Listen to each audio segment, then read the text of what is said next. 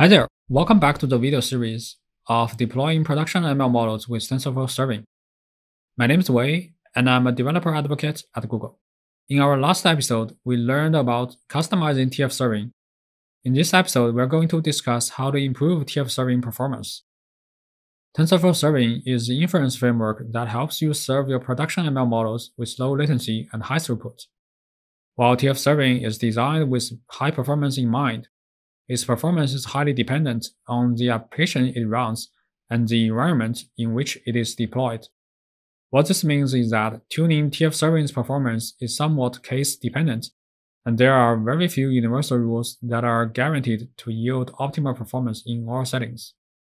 With that said, we're going to share some general principles and best practices to tune TF serving performance in this video.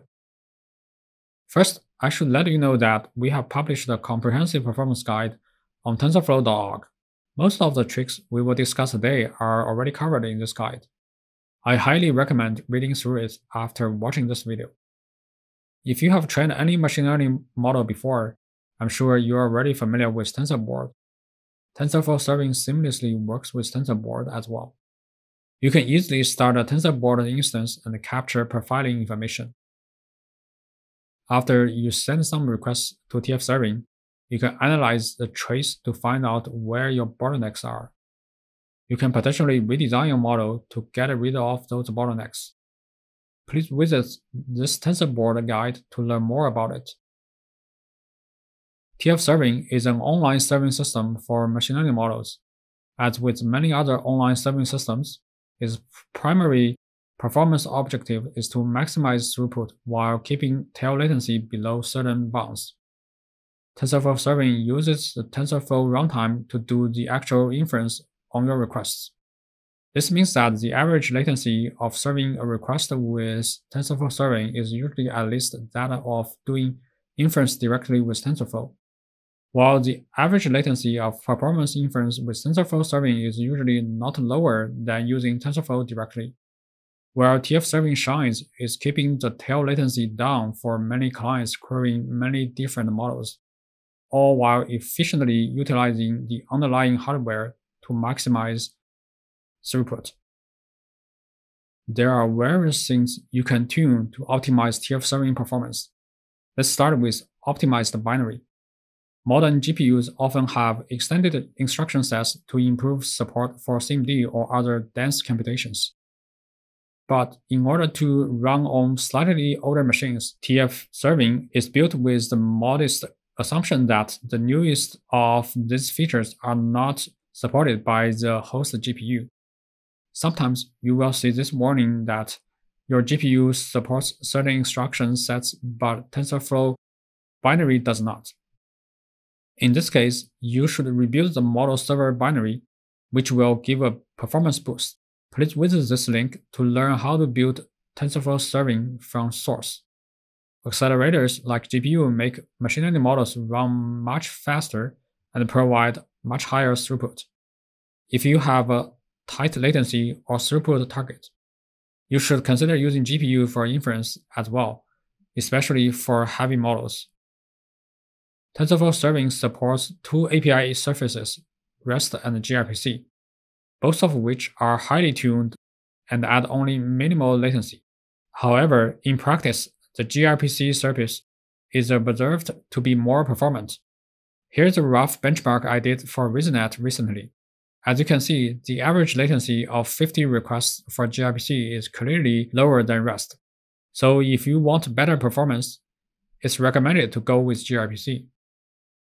Another thing you should do is batching. There are two kinds of batching. You may configure your clients to send batched requests to TensorFlow serving, or you may send individual requests and configure TensorFlow serving to wait up to a predetermined period of time and perform inferences of all requests that arrive in that period in one batch. Client-side batching is pretty straightforward, so we won't talk about them here. Server-side batching is particularly useful when you use GPU to enable server-side batching, you need to set enable batching and batching parameter file flags when starting the model server. Here is an example of the batching parameter file. Make sure to check out our batching guide to learn the best practice of setting various batching parameters. Once you enable batching, you will see this message in the log. This means TF serving has turned batching on and you should see better performance now. The next one is model warmup. TensorFlow runtime has components that are lazily initialized, which can cause high latency for the first request. This latency can be quite significant. To reduce the impact of lazy initialization, it's possible to trigger the initialization of the components at model load time by providing a sample set of inference requests along with the saved model. This process is known as warming up the model.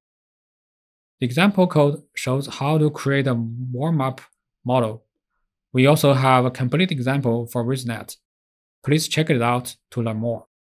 Once you put a TF serving warm-up request warm-up file in the asset extra folder in your saved model folder, you will see this message when you start TF serving model server. This will reduce the latency of the first request. In addition to the batching parameters we already talked about, there are a number of other parameters that you can tune, most notably TensorFlow intra-op parallelism and TensorFlow inter-op parallelism, which control thread pool for running the TensorFlow graph in a parallel fashion. You should definitely experiment with these parameters for better performance. The next tip is to enable XLA. XLA is a domain-specific compiler for linear algebra that can accelerate TensorFlow models with potentially no source code changes.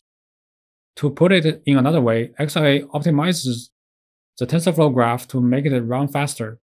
We won't go into details about XLA here, but one thing about XLA is that there are two ways to leverage XLA JIT just in time and AOT ahead of time. Right now, TF Serving has experimental support for XLA JIT, which optimizes the graph on the fly instead of ahead of time. You can enable it by setting XLA CPU compilation enabled to true. We'll discuss a bit more about XLA in our next episode when we discuss serving JAX models. One last tip before we wrap up today. Often in real world production systems, we have a number of TF serving servers behind a load balancer, so you should make sure to tune the parameters in a similar environment instead of on a single instance of TF serving. This approach will help you make sure the tuned setup is applicable to your production system. If you want to learn about setting TF serving behind a load balancer or a proxy, please check out our Colab for image classification with TF serving. In that Colab, we set up an Envoy proxy with a round-robin load balancer. To summarize, today we discussed quite a few ways to improve TF serving performance. Note that there's no silver bullet to tune the performance, and your mileage will definitely vary. So you should experiment with different settings to get the most out of TF serving. With that, let's wrap up in this episode. In the next episode, we will discuss some advanced features in TF serving, such as serving JAX models. See you next time.